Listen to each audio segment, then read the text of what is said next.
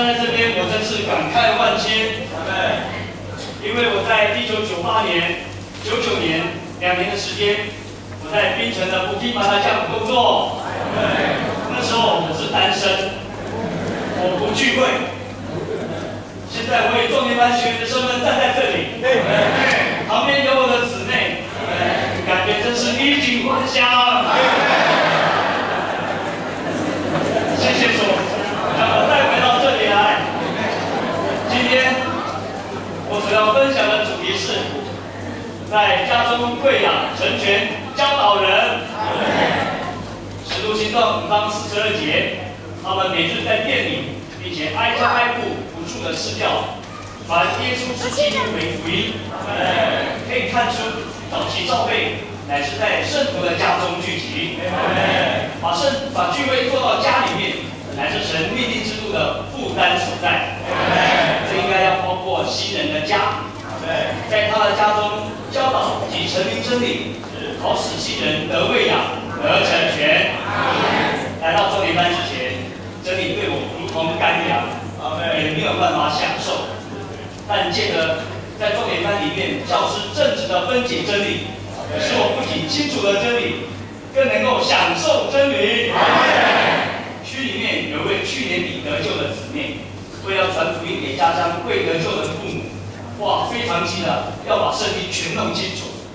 不但邀请年长师母给他读新约，更有其他教派的信徒给他读旧约。这一读就偏离了真理。年长师母提醒姊妹说那是异端，但是姊妹都听不进去。上个月在一次家训会的聚集里面，我分享在壮年班训练里面关于神三一神圣会的真理，并举经节主证。隔天下午就和我的姊妹一同配搭。到那位姊妹的家中喂养教导，经过几次的喂养，使得那位姊妹啊不仅清楚了真理，更让她在祷告中真正摸着了神。圣经的真理是需要成名的，我们侍奉主就要走出去，到圣徒的家中喂养教导他。结束以后，愿意和我的姊妹继续配搭，出去啊喂养圣徒，传递真理。好，建造教会。亲爱的弟兄姊妹，平安喜乐。我是范陈丽君姊妹，今天要与大家分享在生言训练中所得的恩典，就是你们一个一个能为主生言。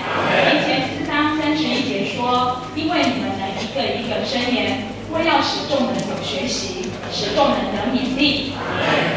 神在世界里所做的工，最主要就是他的说话。如果没有话，就没有工作。现今他就在我们的里面。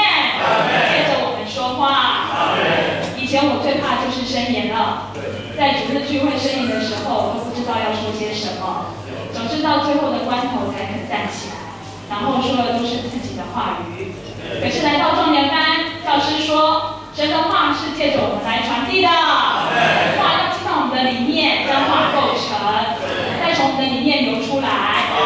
就在此时，我蒙了光照，我能想象主回答。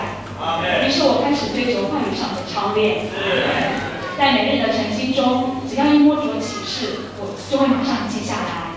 晚上再到主的面前，求主再次的光照，使我有更多的经历与享受。最后把摸主的负担写成声言稿。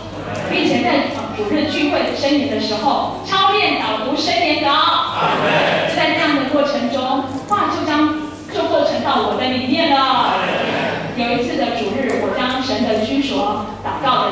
与他柔美的殿，有条理、有思绪的说出来。弟兄姊妹受到了激励，也纷纷起来声援。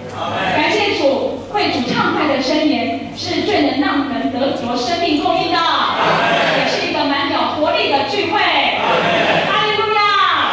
少年班的训练太好了，之后不怕宣言了。